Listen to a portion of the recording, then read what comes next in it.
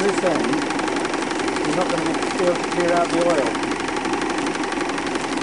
You need a door that you can undo.